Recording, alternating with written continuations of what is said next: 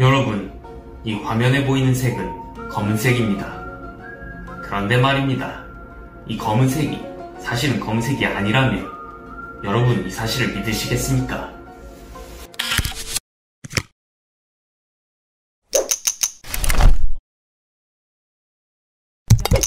안녕하세요. 고추냉이 TV입니다. 오늘의 주제는 검은색이 정말 검은색일까인데요. 이 검은색의 정체를 알아보기 위해서는 먼저 삼원색에 대해서 알아보아야 합니다.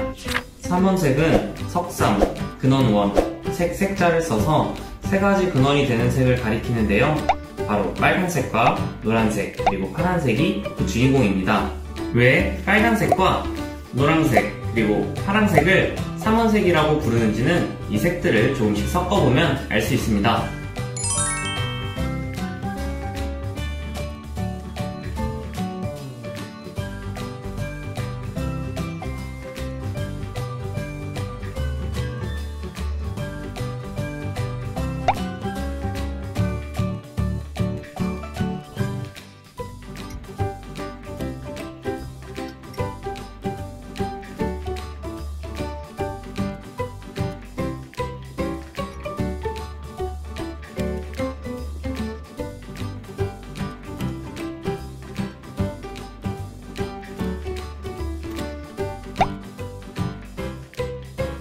지금까지 빨간색과 노란색, 파란색을 섞어서 다양한 색들을 만들어 보았는데요. 이처럼 이 세 가지 색상은 다양한 색들을 만들 수 있는 근원이 된다 하여 삼원색이라는 이름이 붙여지게 되었습니다.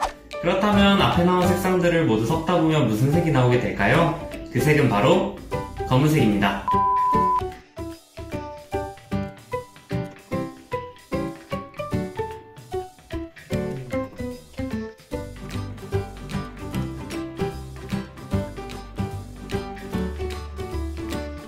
Nope.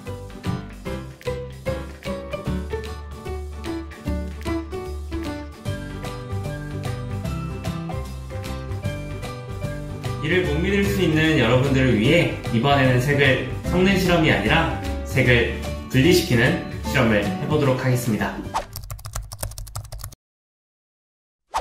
오늘의 준비물입니다.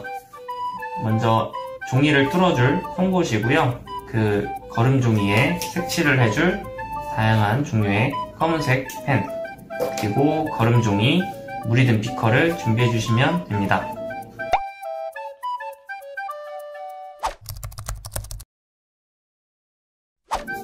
자, 그러면은 거름 종이에 이제 송곳으로 구멍을 먼저 뚫어 볼게요. 뚫고 난 후에 어, 이 거름 종이에 이 먼저 첫 번째 펜을 이용해서 주위 선을 그어주도록 하겠습니다. 두 번 정도 칠해지면은 더 자세하게 관찰할 수 있을 것 같아요. 자, 그렇게 한 다음에 나머지 한 거름 종이를 가지고 돌돌 말아줍니다. 그 다음에 돌돌만 거름 종이를 이 먼저 구멍 뚫었던 곳에 안에 꽂아주고 물이 든 비커에 이 거름 종이를 꽂아주면 완료입니다.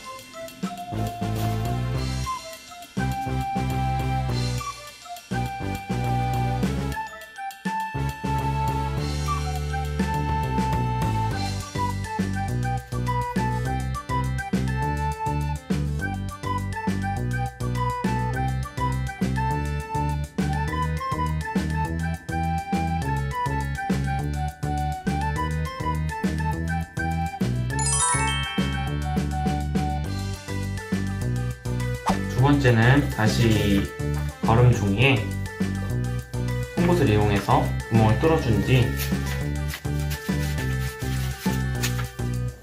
이 펜을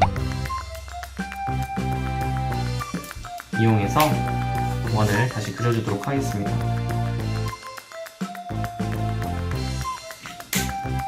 자, 그런 다음 다시 이 거름 종이를 말아주어서 다시 껴주도록 할게요.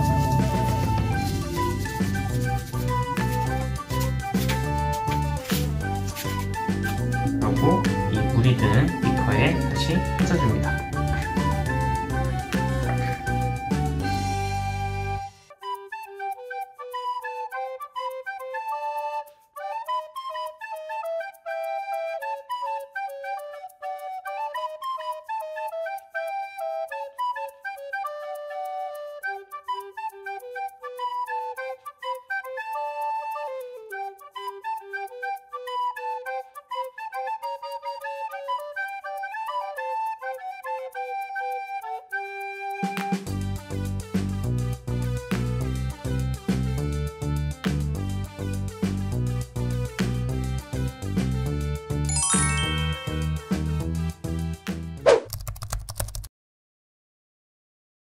어떤가요? 실제로 우리 눈에 검은색으로 보였던 펜의 잉크는 검은색이 아니라 여러 가지 색상들이 섞여 있던 색이었습니다.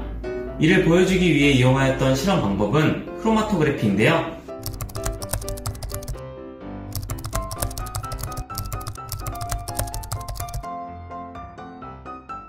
이 크로마토그래피의 원리는 검은색 잉크를 다양한 색으로 분리시키는 것뿐만 아니라 다양한 분야에서 이용되고 있는데요.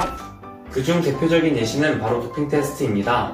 도핑 테스트는 운동선수가 더 좋은 기록을 내기 위해 금지된 약물을 복용했는지 알아보는 절차인데요. 경기가 끝난 선수들을 무작위로 뽑아 소변을 채취하여 진행된다고 합니다. 이때 이용되는 방법이 바로 크로마토그래피이며 소변 내 물질의 이동 속도 차이를 바탕으로 금지 약물을 찾아낸다고 하는데요. 이때 테스트에 걸린 선수는 선수 자격을 박탈당한다고 하니 조심해야 되겠죠?